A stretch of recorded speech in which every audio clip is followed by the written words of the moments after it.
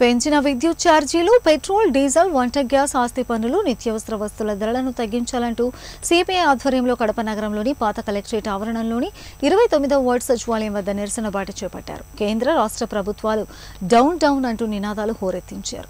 ఈ సందర్భంగా సిపిఐ జిల్లా కార్యదర్శి ఈశ్వరయ్య మాట్లాడుతూ అసలే కరోనాతో పనులు లేక ప్రజలు తీవ్ర ఇబ్బందులు పడుతుంటే మరోపక్క కేంద్ర రాష్ట్ర ప్రభుత్వాలు పెట్రోల్ డీజిల్ వంట గ్యాస్ నిత్యావసర వస్తువుల ధరలు పెంచడం దారుణమని మండిపడ్డారు. కేంద్రంలోని నరేంద్ర మోదీ రాష్ట్రంలో జగన్ సర్కార్ కలిసి ప్రజలను లూటీ చేస్తున్నారని ఆరోపించారు. వెంటనే పెరిగిన పెట్రోల్ డీజిల్ గ్యాస్ నిత్యావసర సరుకుల ధరలను అదుపు చేయకపోతే అన్ని రాజకీయ పార్టీల నాయకులను కలుపుకొని బంద్ చేపడతామని హెచ్చరించారు. ప్రజల జీవన ప్రమాణాలు రోజు రోజుకు దిగదారిపోతున్నటువంటి ఈ నేపథ్యంలో మీరు గోరు చుట్టుపై రోకటిపోటులాగా మళ్ళీ అన్ని రకాల నిత్యావసర వస్తువుల ధరలు మొదలుకొని పెట్రోలు డీజిలు గ్యాసు వంట ధరలు విపరీతంగా పెంచి ప్రజలపైన భారం వేస్తూ ఉన్నారు. వాటిని ఉపసంహరించుకోవాలని చెప్పి సిపిఐగా డిమాండ్ చేస్తూ ఉన్నాం. ప్రజల పక్షాన ఇప్పటికే కరెంటు ఛార్జీలు విపరీతంగా పెంచారు.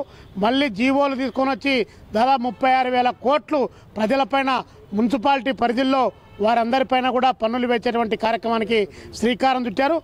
అటు కేంద్రంలో నరేంద్ర మోడీ గారు ఇటు రాష్ట్రంలో జగన్మోహన్ రెడ్డి గారు ఇద్దరు కలిసి ప్రజలను లూటీ చేసేటువంటి పద్ధతిలో ప్రయత్నం చేస్తూ ఉన్నారు. ఇరవై నాలుగులో మీరు ఇప్పుడే కళ్ళు కంటా ఉన్నారు. మళ్ళీ మనమే వస్తామని చెప్పేసి ఇప్పటి వరకు మీరు మాట తప్పరు మడమ తిప్పరని చెప్పారు. ప్రజల మెడకాయలు ఇడుతున్నారని చెప్పి ప్రజలంతా భావిస్తూ ఉన్నారు. కాబట్టి మీ కీలెరిగి వాత పెట్టకముందే ప్రజల యొక్క అభిప్రాయాలను తెలుసుకొని మర్యాదగా వీటన్నిటి తగ్గించకపోతే ప్రజా ఆందోళన మిన్నెట్టి ముడతాయని చెప్పేసి రాష్ట్ర వ్యాప్తంగా భారత కమ్యూనిస్ట్ పార్టీ సిపిఐ నేతృత్వంలో అన్ని రాజకీయ పార్టీలను ప్రజా సంఘాలను కలుపుకొని బా ఆంధ్రప్రదేశ్ బంద్కు కూడా పోతామని చెప్పి ఈ సందర్భంగా తెలియజేస్తా ఉన్నాం.